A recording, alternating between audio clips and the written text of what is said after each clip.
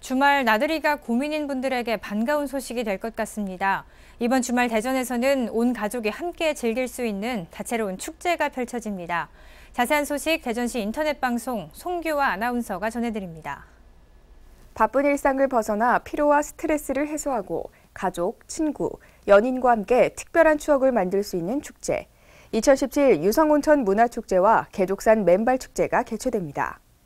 유성 온천 문화축제는 5월 12일부터 14일까지 유성 온천로 일원 갑천변, 계룡 스파텔 광장에서 펼쳐지며 한방 족욕 체험은 물론 온천수 워터파크, 물총 대첩, 레이저쇼, 온천수 DJ 파티 등 다채로운 행사가 마련됩니다.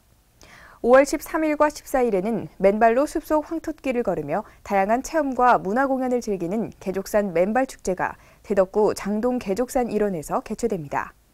이번 주말 우리의 몸과 마음을 힐링시켜줄 지역 축제에 시민 여러분의 많은 관심 바랍니다.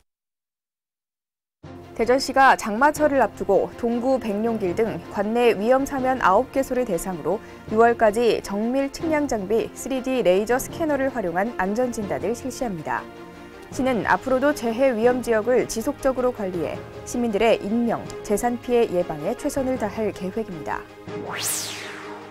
대전시청 에너지산업과에 근무하는 송익수 주무관이 시민에게 보다 깨끗하고 맑은 물을 공급하는 과정인 상수도 고도 처리에 활용되는 신기술 여과층 시료 채취기를 개발했습니다. 대전시 여성가족원이 5월 10일 제2기 교육을 개강했습니다. 이번 제2기 교육 프로그램은 5월부터 8월까지 진행되며 경력 단절 여성을 위한 취창업 과정, 가정 친화 과정, 문화 아카데미 3개 과정으로 운영됩니다.